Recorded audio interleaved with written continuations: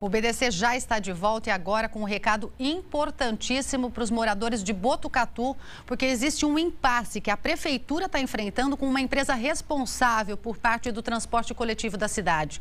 Hoje é o último dia da operação dessa empresa, que é responsável por pelo menos 14 linhas do transporte público. Quem tem todos os detalhes para a gente, as informações, é a Gabriela Prado. Gabriela, conta para a gente, as pessoas que usam essas linhas correm o risco de ficar sem transporte? E outra, a prefeitura já apresentou alguma solução? Bom dia. Não correm mais risco, Thaís. Bom dia a você, bom dia a todos, porque a prefeitura às 8 horas da manhã, de público, né, Thaís, que não vai precisar passar por mais um sufoco diante de todos aí dessa pandemia. Pegar o transporte público já é um risco, ainda mais se não existirem linhas suficientes, fica mais complicado. Ainda bem que a prefeitura já arrumou a solução a tempo, né, Gabriela? Obrigada pelas informações. Bom dia, bom trabalho para você aí em Botucatu.